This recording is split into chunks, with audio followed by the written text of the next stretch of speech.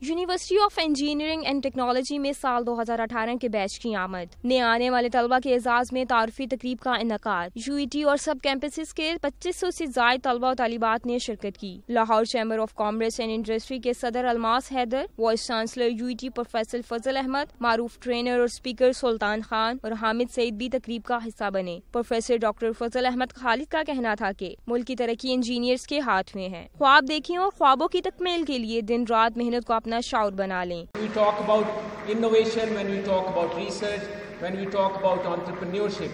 It's the young minds which matters a lot because you have fresh ideas, you have new ideas. طلبہ نے you E T میں داخلے کو خواب کی تعبیر قرار دیتے ہوئے کہا کہ مستقبل میں انجینئر بن کر ملک کی ترقی میں اپنا کردار ادا کریں گے۔ مختلف سوسائٹیز کا بھی ذکر کیا گیا ہے تو اسپورٹس کمپلیکس کا بھی مختلف اپرچونیٹیز ملیں گی سیلف گرومنگ ہوگی ہماری۔ تو میرا ایک خواب تھا کہ میں یو ای ٹی میں آ سکوں اور یہ مجھے چانس ملا ہے۔ آئی ول اویل دس میرا ڈریم تھا یہاں یو ای ٹی میں آنا اور یہاں آئی ہیں آئے ہم بہت اچھا لگ رہا ہے اور یہاں رولز اینڈ ریگولیشنز بھی بہت اچھی طرح ایکسپلین کیا۔ موٹیویشنل اسپیکر نے بھی ہمیں کافی اچھا گائیڈ کیا۔ تقریب کا مقصد طلبہ کو یونیورسٹی کے ڈسپلن، حاضری اور امتحانی قواعد و ضوابط کے بارے میں معلومات فراہم کرنا تھا۔ کیمرامین بلال احمد کے ساتھ نتاشا رحمان، لاہور نیوز۔